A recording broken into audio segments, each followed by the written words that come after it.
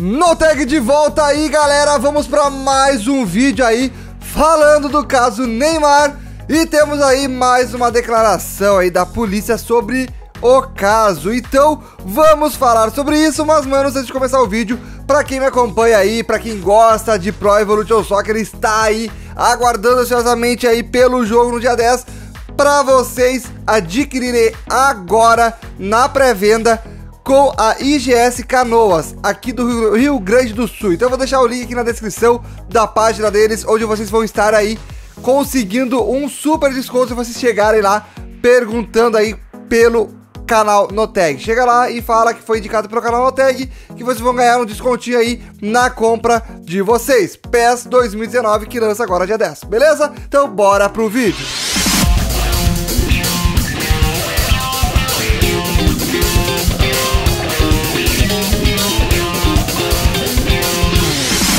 Então, galera, a polícia de São Paulo conclui o inquérito que investigava Nájila Trindade. Então, a investigação foi entregue ao Ministério Público e a polícia queria comprovar se a modelo participou da tentativa de extorsão e da falsa comunicação de crime.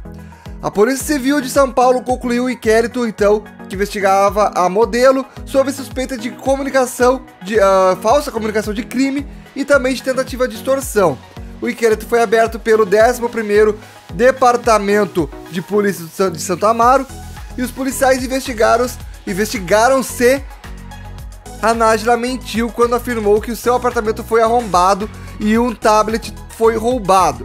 E além disso, foi apurado se a modelo teve alguma participação uh, na tentativa de extorsão contra o jogador Neymar.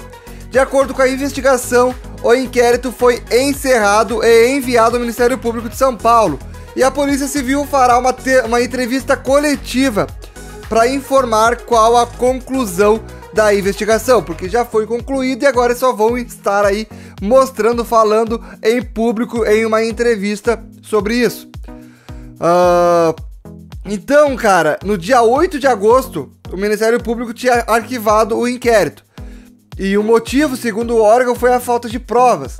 E as promotoras informaram que o arquivamento por falta de provas não implica em absolvição.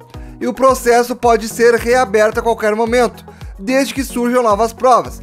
Então, agora a polícia está na mão das, nas mãos da polícia o caso que já foi concluído sobre uh, aí a questão da na tentativa de extorsão e falsa uh, comunicação uh, da, da aí com o pai do Neymar, com o Neymar, o advogado do Neymar. Então a gente vai saber isso aí logo, logo. Vai sair essa entrevista, acredito que entre hoje e amanhã, ou quem sabe depois de amanhã, até o final dessa semana a gente vai estar sabendo aí, vai estar vendo essa entrevista coletiva na íntegra e obviamente vou estar trazendo aqui no canal para vocês. E galera, não se esqueça de deixar o gostei nesse vídeo, se inscrever no canal e se vocês gostam de Pro Evolution Soccer, de FIFA, gosta de futebol digital virtual, mano, se inscreve no, no link que tá na descrição também, que é o canal Noteg Foot, que é o meu canal secundário, onde eu vou estar trazendo bastante futebol virtual por lá. Beleza, galera? Então, nos vemos lá. Deixa o like, se inscreve. Falou, um abraço. Fui!